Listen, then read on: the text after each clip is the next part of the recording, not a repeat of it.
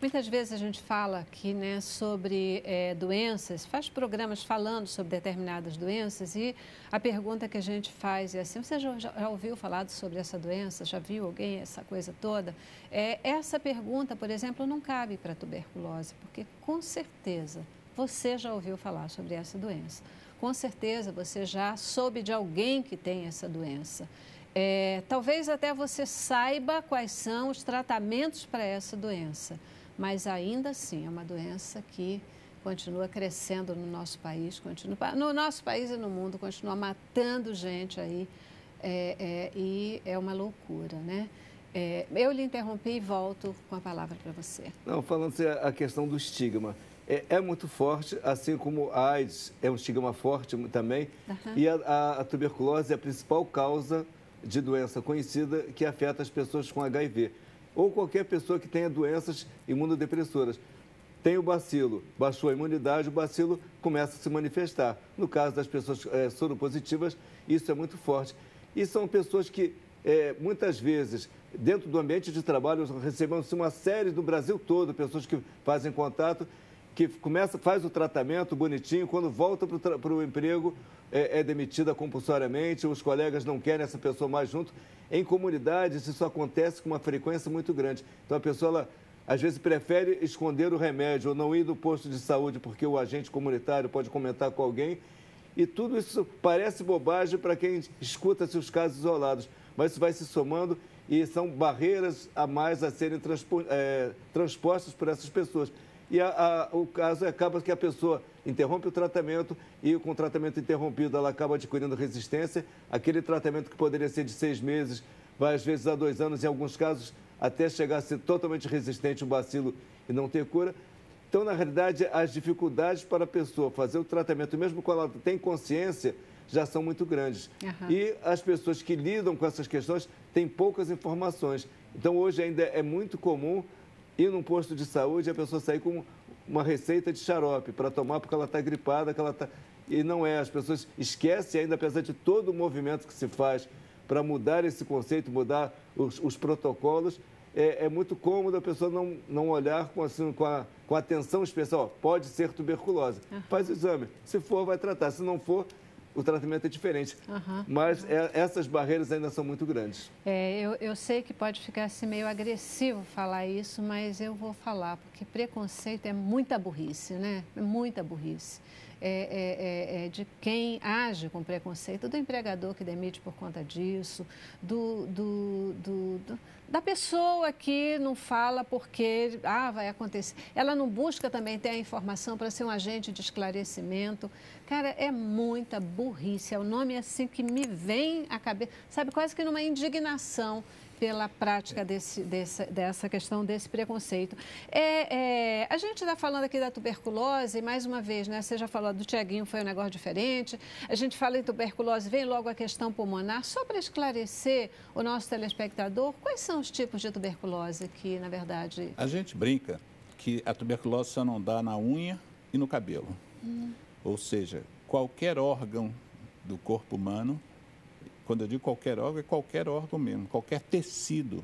Você tem também. Eu estou tratando agora, a minha equipe está tratando no Hospital de Curicica três casos de tuberculose de vértebra. Uhum. Um caso de tuberculose de prega vocal, que a gente chamava antigamente de corda vocal. E, e não é por achismo, foi feita uma biópsia da corda vocal, o indivíduo estava rouco, tirou-se um fragmento, levou-se para o laboratório e deu tuberculose. Nós estamos tratando de, uma, de meningite tuberculose, ou seja, a gente pode ter tuberculose em qualquer órgão. Por que, que a gente dá ênfase à tuberculose pulmonar? Assim, normalmente, nós técnicos e a, a, a população em geral. Uhum. Porque é a mais comum. Na, 90% dos casos de tuberculose são pulmonares. E é que se transmite. E, e, o segundo o problema é que é a única que se transmite. Uau. Então, uma tuberculose pulmonar é aquela que mantém é, é, a gente está tentando defender a nossa vida, né? Nós técnicos, nós médicos, profissionais de saúde, queremos curar as pessoas. As bactérias, por outro lado, são seres vivos que tentam se preservar. Uhum. Então, elas formam, por exemplo, elas têm um potencial de multiplicação, você imagina. Por isso que a gente não fala em eliminação da tuberculose, erradicação. 2 bilhões e 300 milhões de pessoas na Terra hoje têm a bactéria dentro de si. Essas pessoas, 90% dessas pessoas, a 95% vai nascer, vai em algum momento se infectar e vai morrer sem desenvolver a tuberculose. Uhum. Quer dizer, nós, essas pessoas, ao morrerem, vão estar morrendo antes da bactéria. Uhum. A bactéria, depois que o hospedeiro morrer, ela vai acabar morrendo também, por uhum. falta de oxigênio, que ela se alimenta de oxigênio também.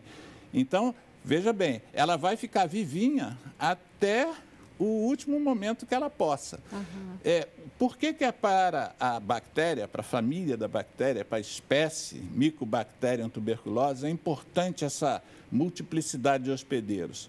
Para preservar a sua espécie. Uhum. Então, elas ficam quietinhas esperando o momento que o hospedeiro baixe as suas defesas. Uhum. O que, que baixa a defesa no hospedeiro? Eu não vou entrar em detalhes, mas existem alguns mecanismos de defesa. E há doenças que interferem nesses mecanismos de defesa. São as doenças que a gente diz que comprometem a imunidade. Uhum. A mais relacionada hoje em dia com a tuberculose é a infecção pelo vírus HIV, quando ele não está sob controle. Uhum quando já primeiro já se tornou a doença AIDS e se, mesmo com a doença você não necessariamente tem que desenvolver a tuberculose. Uhum. Se você tem a bactéria e tem o vírus, você tem que fazer o que se chama de profilaxia, uhum. de prevenção, de tratamento da tuberculose latente, ou uhum. seja, o paciente de HIV não pode ficar com a bactéria quieta, esperando, porque ele vai desenvolver a tuberculose em 50% dos casos nos próximos cinco anos. Eu disse que se uma pessoa não imunocomprometida tem a bactéria aqui dentro, ela pode morrer sem desenvolver a doença. Mas os estudos mostram que as pessoas imunocomprometidas vão desenvolver tuberculose em cinco anos, metade dos casos. Pessoas imunocomprometidas, pessoas que têm a sua imunidade baixa, Isso. né? Quando baixa a imunidade. Olha só, é, tem uma coisa aí que é uma doença do século, né? Que é a depressão, por exemplo. Depressão baixa imunidade? Baixa. Baixa Eu tenho casos que claramente a marca da desenvolvimento da tuberculose dele, quer dizer, de passar de tuberculose infecção para tuberculose doença, são fatores ligados à saúde mental do indivíduo. E às vezes não é a saúde mental uh, profunda, uma questão muito profunda. É, é, é, eu tenho casos de pacientes que tiveram uma desilusão amorosa importante, em, em, um mês aquilo gerou neles um quadro depressivo, mesmo que ele, ele tem um pezinho lá atrás, uhum. mas talvez nunca desenvolvesse. Uhum. Em dois, três meses, a imunidade do indivíduo baixou. Pessoas das minhas relações, uhum. eu os tratei, inclusive, não haviam outros fatores de risco e foi marcadamente questões de, de no caso desse, desilusão, outros de estresse. O estresse também diminui a imunidade. Por isso que eu digo, como é que a gente vai erradicar uma doença que tem 2 bilhões e 300 milhões de pessoas portadoras da bactéria, se tantos fatores podem contribuir para que a doença Cigarro. acorde? Cigarro. Eu, eu, faço um é. movimento grande é. para a gente linkar o tabagismo, o uso de cigarro, com a tuberculose. A OMS já disse que existe, aumenta a chance de você desenvolver a doença em três vezes é, é, talvez só mesmo o único mecanismo de combate seja a questão da conscientização, né? Conscientização da, da população como um todo, capacitação né, de um corpo médico para agir, reagir, perceber, Celeste, tratar. É fundamental, ah. deixa eu te interromper, uhum. desculpe. Tranquilo, é fundamental um programa como o de vocês aqui na Boas Novas, pela penetração que eles têm. É, a tuberculose é uma doença que se transmite pessoa para pessoa. Se você hoje começar a transmitir mas se você hoje fizer o diagnóstico, tem dois benefícios nisso. Você não aprofunda as lesões no órgão que a doença estiver e você para a transmissão, porque em 15 dias você já reduz a carga de bactéria em, em praticamente 100%. Uhum. Alguns estudos uhum. dizem que até dois meses você ainda pode transmitir, mas é, a queda é abrupta. Uhum. A, a, os remédios são realmente eficientes no controle da doença quando a bactéria é sensível, que o a maior parte dos casos. Uhum. Se você não trata direito, se você leva seis meses para se tratar, como é o que a gente vê, né, Roberto? Pessoas que ou vão procurar pela primeira vez em seis meses, por, di, por não, não acreditarem que uhum, estavam doentes. Uhum. Ou, que é pior, pessoas que procuram regularmente uma unidade de saúde, vão, voltam, como o Roberto diz, saem com um vidro, uma de receita xarope. de xarope, não se pede um exame de descargo, que é um exame que para o SUS, o exame simples custa R$ reais. Em, em, menos de 24 horas você pode ter o diagnóstico uhum. e as pessoas por isso mesmo não pedem. Uhum. Essa é uma, é uma questão que a gente tenta, ao, ao, ao programa, é, ao, ao, estar presente num programa tão importante como o de vocês, é dizer o seguinte, é, os sintomas da doença quais são, e dizer para os profissionais de saúde, pensem na tuberculose. Pensa, um, o primeiro sintoma, por mais leve que seja, mas pensa, pensa. avalia, é, investiga, porque se for, já Isso. vai cuidar. É, e a questão da mobilização. Resolver, né? é, no começo do século XX, particularmente no Brasil, quando ainda não existia, existia cura, existia uma grande mobilização da sociedade civil da época, de intelectuais, tinha a Liga Brasileira contra a Tuberculose, a própria Federação de Bandeirantes do Brasil surgiu também com, com trabalhos nessa natureza, cruzada contra a tuberculose, uma série de movimentos sociais que, de alguma forma, procuravam ajudar as pessoas que tinham tuberculose de uma doença que até então não existia cura. No momento que se descobre a cura e eh, tem uma baixa assim, da, do número de pessoas é, afetadas visualmente, que se soubesse, esse movimento é desarticulado. No final, do, no começo do 2001, 2002, 2003, é, preocupados é, é, com os números que chegavam, começaram a chegar até a, ah, nós aqui do Movimento Social no Rio, criou-se o Fórum de ONGs na luta contra a tuberculose, o Fórum ONGs TBRJ.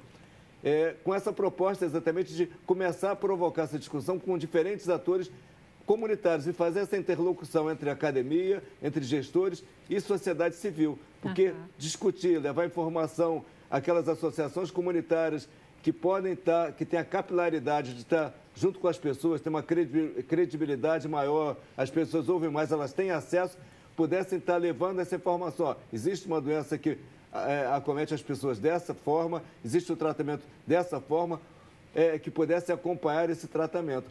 O fórum do, é, foi criado em 2003, teve um crescimento muito rápido, uma adesão de organizações muito grande.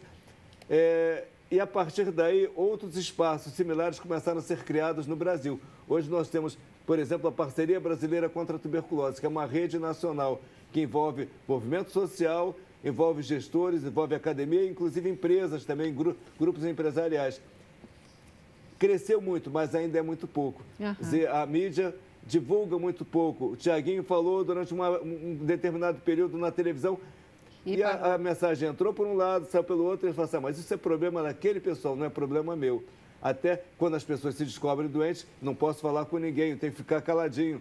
É muito comum, no Rio de Janeiro tivemos vários relatos de pessoas expulsas de onde moravam, porque uma doença que se transmite pelo ar, que está associada à morte, estão fora daqui. Uhum, Vai embora. Uhum. Imagina o que é que uma pessoa dentro de um presídio com tuberculose, com todas as agressões aos direitos humanos, à, à qualidade de vida dela, ainda se descobrir com tuberculose, então, na realidade, as barreiras são muito grandes. Então, quanto mais se mobiliza pessoas de diferentes espaços, as nossas reuniões mensais do Fórum Tuberculose aqui no Rio, por uhum. exemplo, ela tem uma participação muito grande de gestores. Hoje, muitos é, é, agentes comunitários de saúde têm participado das reuniões, apesar de ser de ONGs, mas elas vêm. Isso é importante porque o diálogo ele vai se dando de uma forma mais tranquila. As pessoas uhum. têm outras formas de comunicar que aquela que eu vou fazer no meu condomínio não é a mesma que eu vou fazer na comunidade, nem é como fazer com a perfeito. população de rua, é. que vai ter uma dificuldade muito maior de aderir àquele tratamento.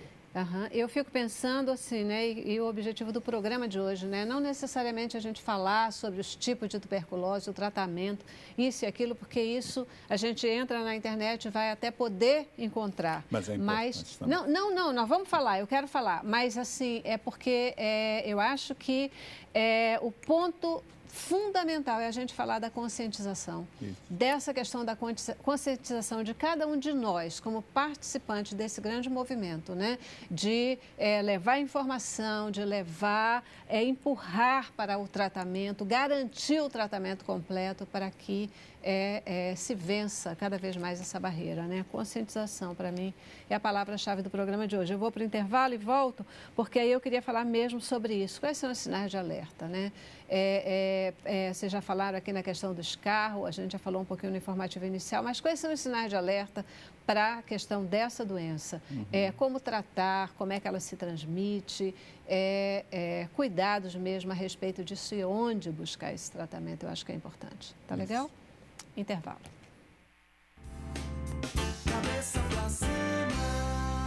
Eu quero